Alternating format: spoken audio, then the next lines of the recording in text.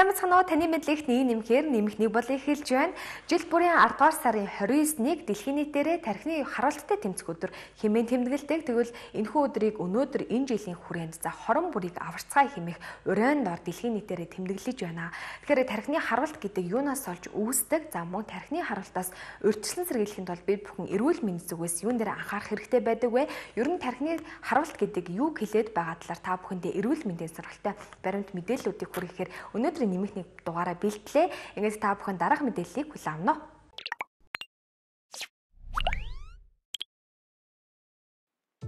Даралт ихссэн үед тархин дах судас гэмтэж, нарийсах эсвэл хагарснаас болж харуулт үүсгэж болцшгүй. Даралт ихтэл нь мөн судасны хананд цүлхэн үүсгдэг бөгөөд тэр хагарвал тархинд цус алдах өндөр аюултай байдаг. Тархины харуултыг дотор нь цус хомсдлын харвалт, цус алдалтын харвалт гэж ангилна. Хомсдлын гэдэг нь судасны хатууралтай холбоотой бол цус харуулт нь даралт ихсэлттэй холбоотой. Цус хомсдлын харвалтын үед артерийн судас бүглэрсний улмаас тархины аль нэг хэсэгт тархины өвчл үүснэ. Цус алдалтын харвалтын үед тархины артерийн судас хагаарснаас тархин дотор эсвэл гадаргууд цус хуралтна. Ийхүү тархины судас бүглэрөх эсвэл бүрэн бүтэн байдлаа алдснаар тархины цусан хангамж алдагдан тархины эд эс хүчил төрөгчийн дутагдалд орж мэдрэлийн эсүүд өгчхийг харуулдаг. Тархин биеийн бүх үйл ажиллагааг удирддаг тул түүний эдис өвчгөд хөдөлгөөний болон мэдрэхүйн олон тооны өөрчлөлт гарна. Цус харвах өвчнөд тэмцэх өдөр өнөөдөр тохиож байна. Энэ жил тус өдрийг хорон бүрийг аварцгай урайндор өнгөрүүлж байна. Тархины цус харуулт нь Монголд болон дэлхийн орнуудад өвчлөл нас баралтаар эхний 3-т ордог өвчин юм. Тархины харуултын эрт үеийн шинж. Тэнцвэр, биеийн тэнцвэрээ алдах, толгой эргэх, толгой өвдөх, нүд. Нүд бүрэлцэх хоёрлож харах. Нүүр. Нүүрний нэг тал мурих гар. Гар эсвэл хөл сулрах. Хэл ярэ хэл эдрэх үгээ онож хэлж чадахгүй байх. Цаг. Төргөнцлөмж нин даруй дуудах. Нүүрний тэгшхэм өөрчлөгдгөн цус харгасны шинж тэмдэг юм Инээмсэглэх үед нүүр мөрөө байна. Мөн хил эдэрч согтуугаар ярьж байгаа юм шиг ярихад хүнд болох нь харвалтын нэг шинж. Толгой эргэх биеийн нэг тал сулрах, тэнцвэр аллах зэрэг нь анхны шинж тэмдгүүд юм. Хамгийн гол нь хэрв эдгээр шинж тэмдгийн дор хаяж нэг нь байвал хүлээх хэрэггүй яаралтай төргөн тусламж дуудах хэрэгтэй тархины харвалтаар өвдөх эрсдлээ хэрхэн бууруулах вэ? Цусны даралтаа тогтмол хянаж, тогтмол эмээ уух.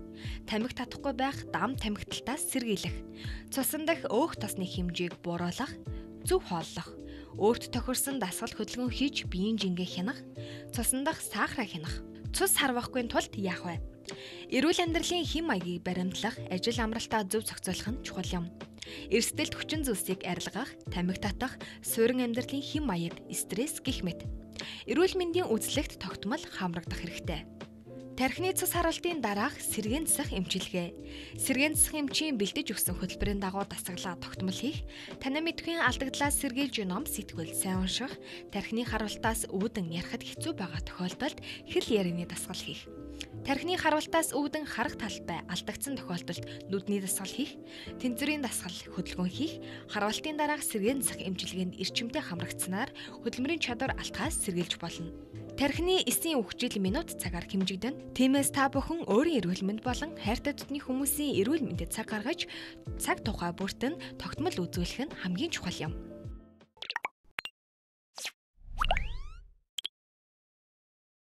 Иргэн нэмэгтэн болондоо тавтай морил үзэгчтэй өнөөдөр 10 дугаар сарын 29-ний өдрийг тохиолдуулан нэмэгтэн болонгаар үзэгч та бүхэндээ эрүүл мэндийн зөвлөгөө олгох зорилгоор за дэлхийн нийтээр хорон бүрийг аварцгай урайнд ор тэмдэглэж байгаа тархины харуулттай тэмцэх өдрийг тохиолдуулан мэдээллүүдийг бэлтгэн хүргэлээ.